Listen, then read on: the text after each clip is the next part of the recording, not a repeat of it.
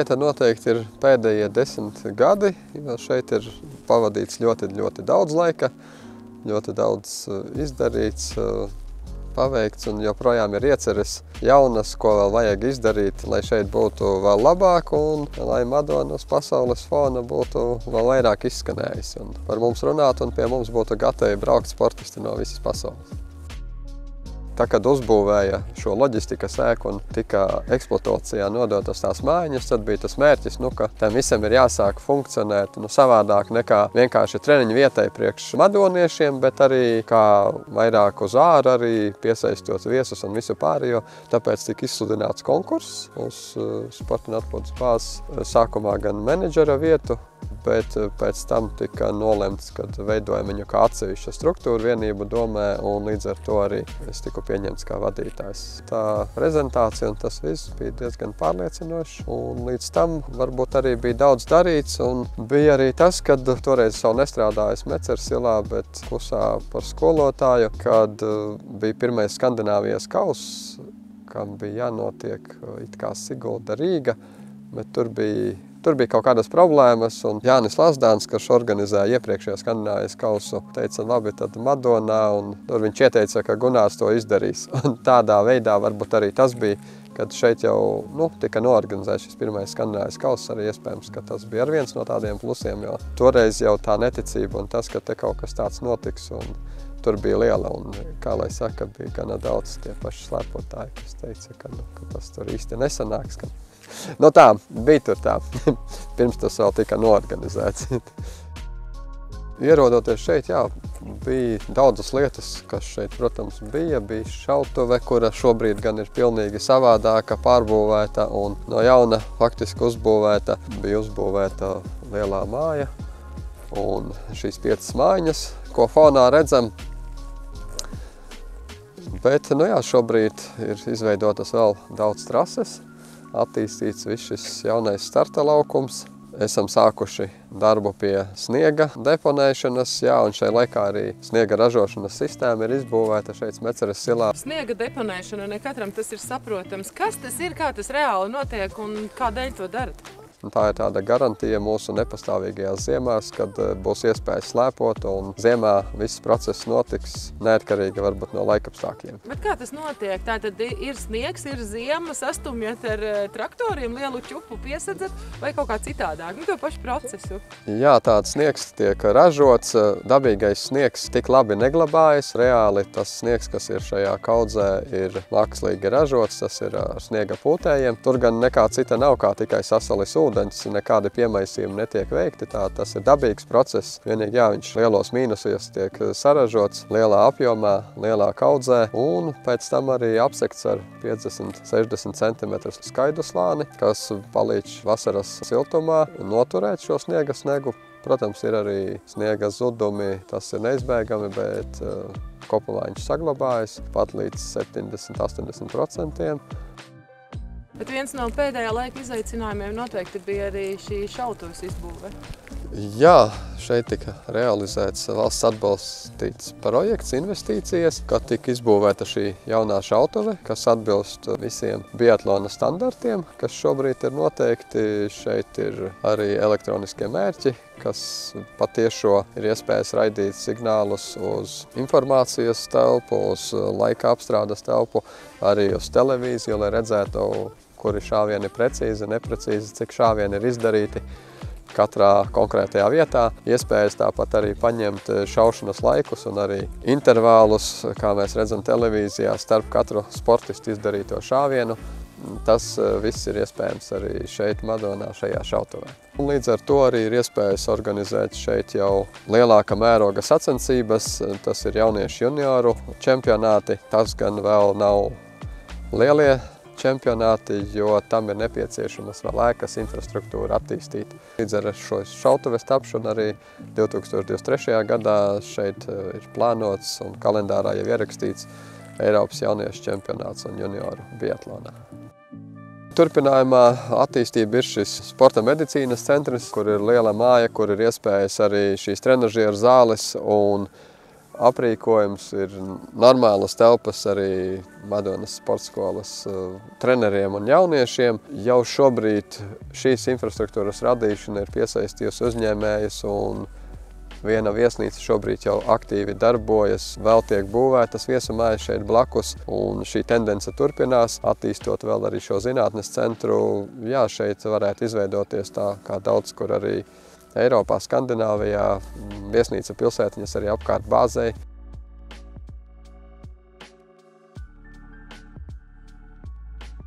Smeceres silā ir šie standarta sporta veidi, bet eh, ir arī dažādi citādi pasākumi, kā longboarda sacensības. Arī uzņēmumi izmanto sporta spēlēm šīs iespējas. BMX trase, kas ir pieprasīta, tāpat piedāvājam biatlonu visiem pamēģināt, kad ir iespējas arī tie, kas nav biatlonisti, šo sporta veidu pamēģināt un kur ir liela interese par to. Kamanu suņu sacensības, kas regulāri notiek šeit nu jau katru gadu. Tas viss ir kopā jāsaliek, slēpošana ar to suņa vilkšanu. Uz tiem pagriezieniem nav nemaz tik vienkārši. Esi mēģinājis pats? Jā, es eh, pamēģināju arī šajā tandēmā ar suni slēpot kopīgi. Un, jā, tas tā ir interesanti un tas eh, nav nemaz tik varbūt vienkārši. Tur ir nedaudz, nedaudz arī jāpatrenējas, lai to lietu apgūtu. Tā vilkšana ir pozitīvs moments, bet nu, tur arī pagriezienos un straujos līkumos jāmāk savākties. Bija tā, ka tu arī savācies, vai bija kaut kāda? nu, bija viens arī tā, ka labi krist. tā, kad, jā, tas arī interesants. Pat jau tiek pamēģināts, jā. Ir daudz un dažāda mēroga pasākumu bijuši, bet, nu, protams, lielākais un nozīmīgākais ir pasaules čempionāts rollerslēpošanā. Tika labi noorganizēts, bija ļoti labas atsauksmes no komandas, arī no FIS. Ļoti liels prieks arī, ka mūsējie madonieši šeit arī uzrādīja ļoti labus rezultātus, tika izcīnītas medaļas. Līdz ar to par to dubults prieks, kad ir šī bāze un aug arī rezultāti. Un viennozīmīgi arī prieks pār daudzajiem jauniešiem, kas ir iesaistījušies un arvien iesaistās. Un es domāju, ka infrastruktūra, kas attīstās, arī veicina vecāku vēlmi savus bērnus piesaistīt šiem sporta veidiem. Ļoti aktīvi katru gadu piesakās arī airētāji, kuri trenē vispārējo fizisko sagatavotību. Tāpat arī šie kalnu slēpotāji un sporta veidi arī vieglatlētiki šobrīd jau ir ieinteresējušies jo visiem šie centri interesē tur, kur ir daudz dažādas iespējas un ir svarīgi. Tāpēc ir būtiski vēl šo soli spērt uz priekšu, kas tiešām iedod to līmeni. Bet pēc šiem gadiem noteikti ir šie sportiskie sasniegumi, lieli pasākumi saorganizēti, viss kaut kas, bet noteikti ir arī kādi kuriozi. Grūti pateikt, vai tos par kurioziem nosaukt, bet nu, ir, jā, ir bijis diezgan sarežģīti ar tiem pašiem sniegiem.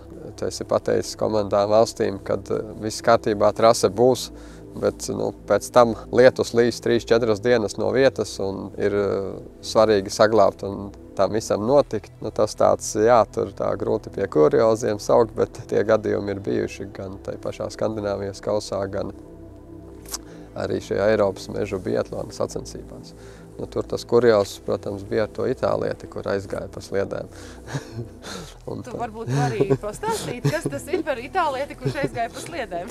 Tā bija itāļa meitene, kura pēc mačiem uh, nu, vienkārši jā, izdomāja doties pa sliedēm projām un Pēc tam tika nakti visu meklēta šeit bāzes apkārtnē un tur, un, bet atrasta Jaunkalsnavā, ejot pa dzelzceļas priekšā. Tas bija tāds, cik kurios arī, cik tāds arī tāds nopietnas atgadījums, nu, kas izsauca tādu, tādu diezgan, diezgan lielu rezonanci.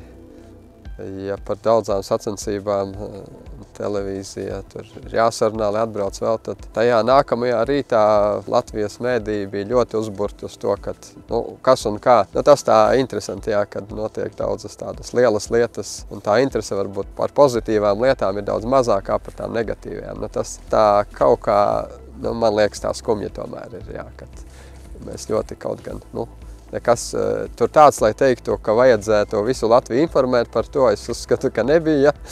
nebija nekāda tur, nu, katastrofa, vēl kaut kas, nu, kas varētu saistīt kādus cilvēkus vairāk. Bet, nu, bet par to ir tā interese milzīga, bet par kaut ko pozitīvu ir mazāk interese. Tas tāds. Tur vajadzētu mainīties, es teiktu, medijā. mēdiem būtu jāstrādā daudz vairāk uz pozitīvā pasniegšana, nevis uz negatīvā. Tad arī, domāju, Latvijā cilvēku domāšana arī mainīsies uz pozitīvo daudz vairāk.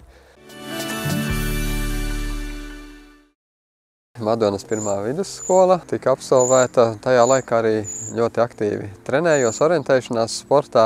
Kādu tu atceries vidusskolu tajā laikā, kāda viņa ir šobrīd? Viņa tik izmainījusies šķiet. Jā, šobrīd noteikti notikušas lielas eh, pārvērtības, bet nu, tajā laikā arī nebija slikti. Mācījāmies, bija ļoti daudz bērnu skolā, bija ļoti, blī, ļoti liels blīvums. Tagad skolēnu skaits ir eh, mazāks, bet nu, telpas ir kļuvušas plašākas un noteikti modernas un mūsdienīgas. Telpas, jā, bet eh, kā ir ar pašiem jauniešiem? Kādi bijāt jūs tajā laikā kā jaunieši, kāda ir šobrīd jaunatne? Nu, tajā laikā nevienam mobīlais nebija. Jaunieši sarunājās klātienē, nevis caur telefonu aparātiem un rakstot ziņas, ko viņi mīl vairāk laikam nekā, nekā sarunāties. Noteikti tās izmaiņas arī šai procesā, bet domāju, tāpat jau jaunieši ir aktīvi. Gan tajā laikā bija aktīvi, gan arī šobrīd viņi ir aktīvi un dara visādas lietas. Un... Bet, ja teiksim, mēs runājam par to skolas dzīvi, par to respektu pret pedagogiem, ir to kāda starpība, jo tur esi pedagogs? savā ziņā, nu, treneris pedagogs. Jā, protams, kad es beidzu, tas bija tas eh, pārmaiņa laiks, kad Latvija kļuva brīva, un katrā ziņā, jā, kad es mācījos, tas respekts pret pedagogiem noteikti bija tāds savādāks, tad tiešām tā disciplīna noteikti stundu laikā, un tā bija lielāka.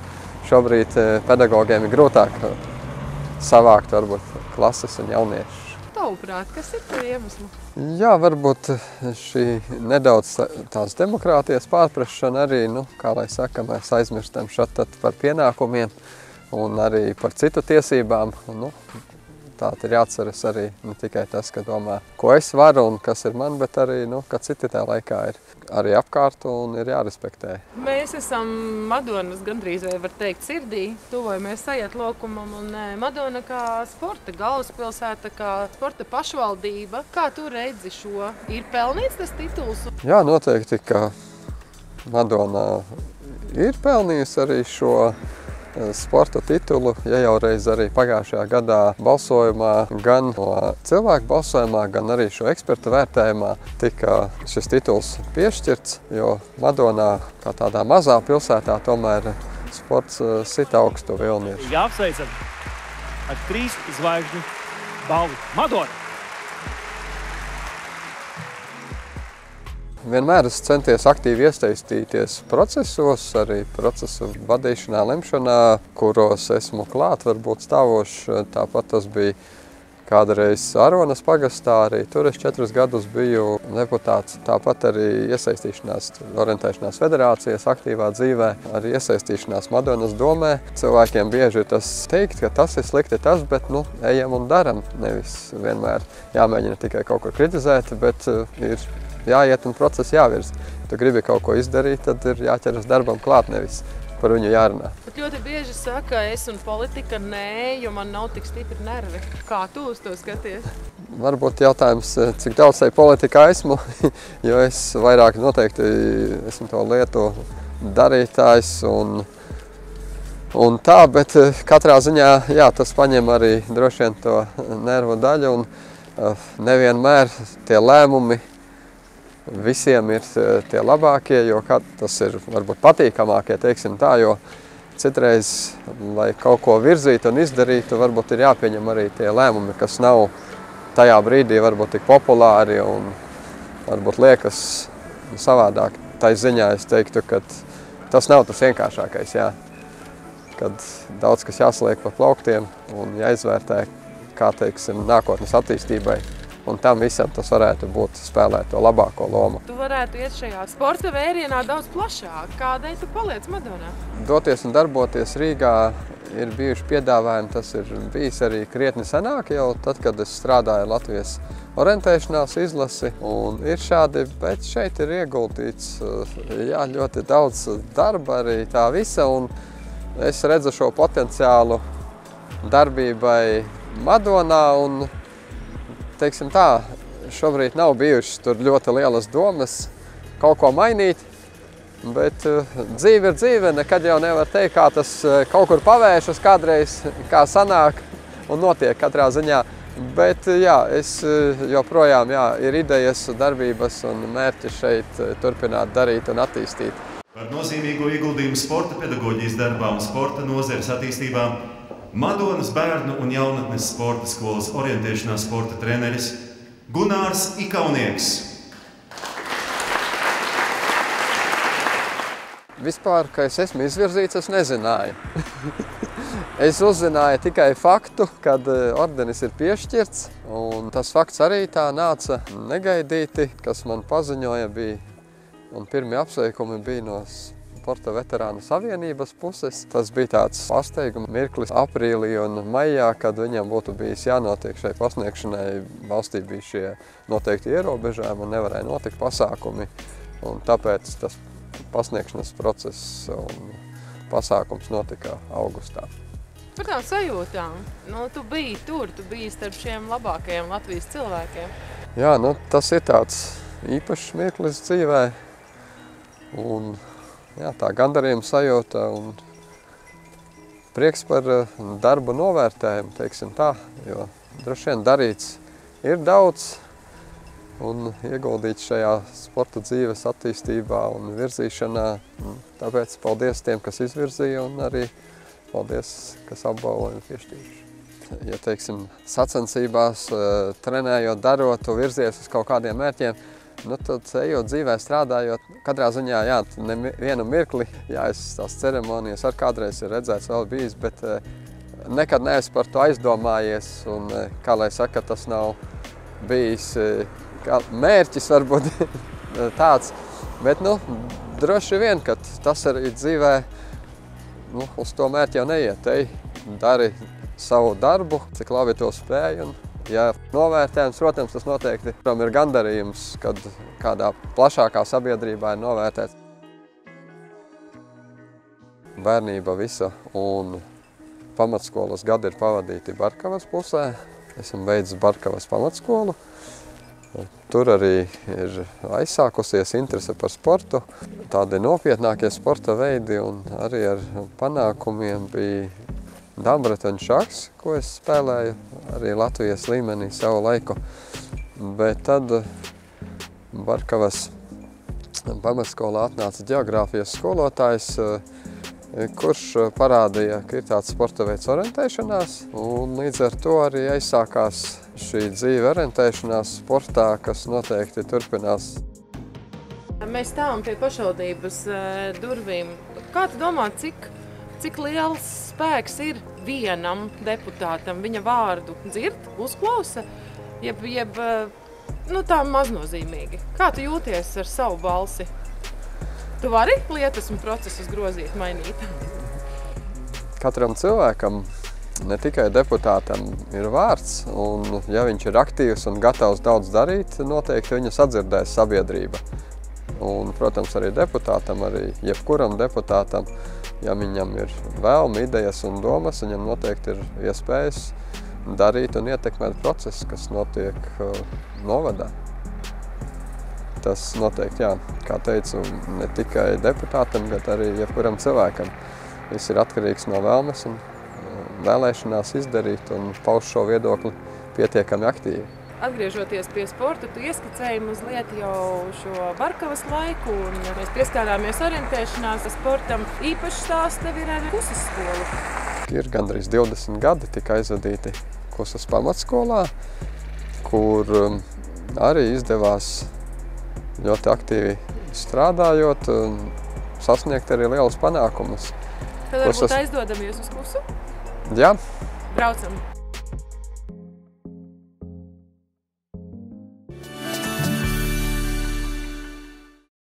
Šeit sākās manas darba sporta gaitas, kad es sāku strādāt Kostas pamatskolā par sporta skolotāju. Paralēli strādājot arī Madonas sporta skolā par orientēšanās treneri. Un Latvijas jaunatnes ziemas olimpiādē Kostas pamatskolē starp visām Latvijas skolām izdevās izcīnīt pat arī kopvērtējumā uzvaru.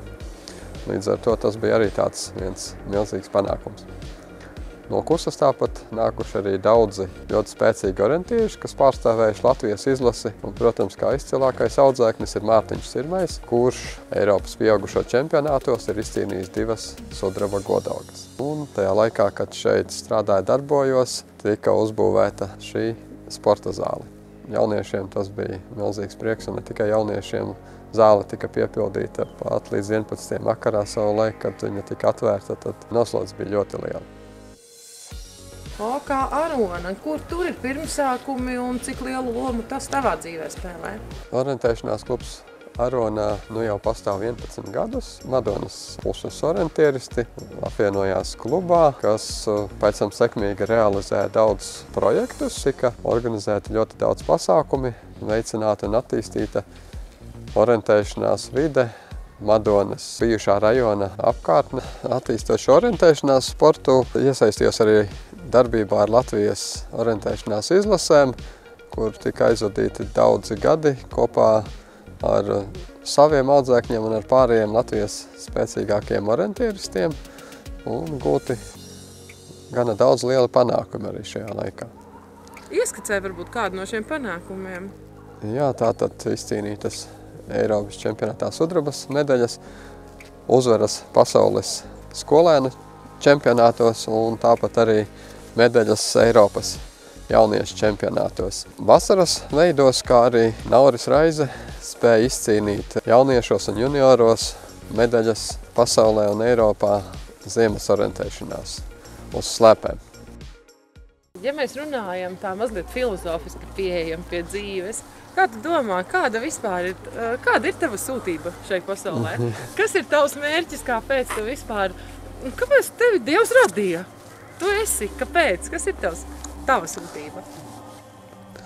Nu, varbūt tas ir šī visa aktivitāte ar šo sporta dzīvi, jo tajā, tajā jā, es esmu iekšā jau ļoti, ļoti sen, un droši vien ir tā, ka arī um, nav mērķis kaut kā mainīt savu darbības sfēru varbūt, un joprojām ir intereses un ir mērķi, kurus vēlos sasniegt. Dzīves moto ir noteikti, viņš ir vienkāršs, nekas nav neiespējams. ir jāiet un jādara. Tāds ir moto, jā. Es arī mēģinu iet un virzīties.